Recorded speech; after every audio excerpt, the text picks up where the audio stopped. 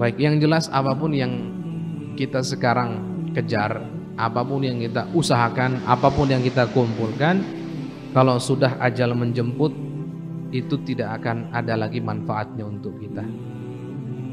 Oleh karenanya, di antara wasiat guru-guru mulia itu, bagi para hartawan, ayo keluarkan hartanya sekarang. Ingat, filosofi harta dalam Islam itu, kapan sih seseorang disebut punya harta? Kapan seseorang disebut memiliki harta? Kapan? Ini filosofi harta dalam Islam atau filosofi kepemilikan dalam Islam. Ingat bahwa semua yang di dunia ini yang katanya kita miliki hakikatnya itu hanya titipan dari Allah yang akan kita semua dimintai pertanggungjawaban. Semuanya